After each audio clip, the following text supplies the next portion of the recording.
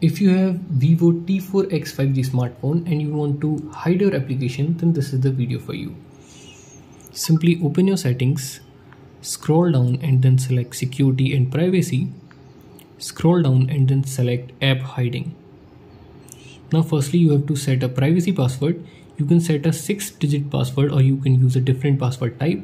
Here I'm selecting pattern, draw your pattern and then confirm your pattern answer two security questions after that click on next. You can set your email address otherwise click on add later. Firstly enable this. Then it will show all the application which are installed in your smartphone. Select the app you want to hide and then click on confirm.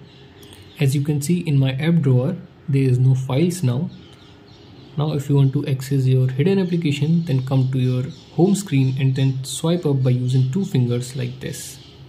Draw your privacy password and then it will show your hidden application.